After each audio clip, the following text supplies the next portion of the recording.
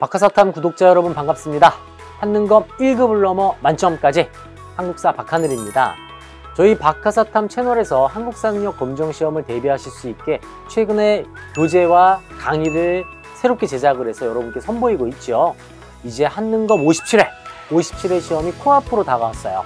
이번 주 토요일 10시, 2월 12일 10시에 한능검 57회가 실시가 될 예정이고 여러분께서는 지금 열심히 마지막 총정리를 하고 계실 거라고 생각이 됩니다. 이 영상을 촬영하고 있는 지금은 2월 7일 오후 4시 23분을 지나고 있어요.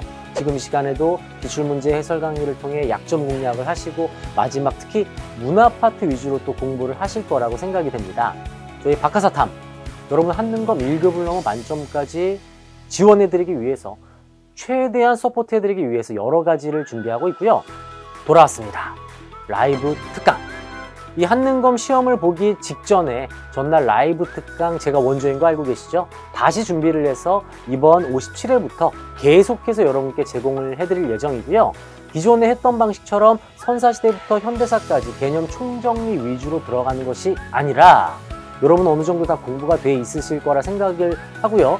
약점 공략과 키워드 중심으로 준비를 해서 찾아뵐 예정입니다. 특히 문화 파트와 인물 파트, 인물과 문화 파트를 처음부터 끝까지 쭉 살펴보면서 지역적인 문제, 고난도 문제, 인물과 문화 문제 중심으로 준비를 하면서 정치사 살을 붙이면서 처음부터 끝까지 실시간으로 여러분과 함께 정리를 할 예정이에요.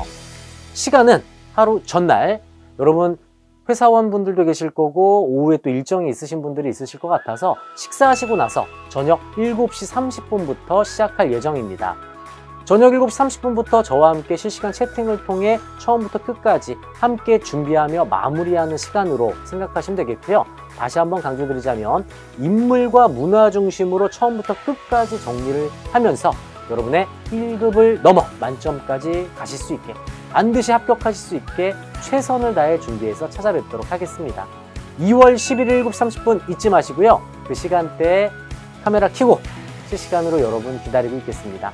저는 새롭게 제작되고 있는 한능검 개념 강의 뒷부분 얼마 남지 않았는데요. 다시 개념 강의 촬영에 또 열심히 매진하면서 실시간 직전 라이브 총정리 개념 특강 총정리 특강 준비해서 찾아뵙도록 할게요. 1급을 넘어 만점까지 항상 박하사탐이 함께합니다. 감사합니다.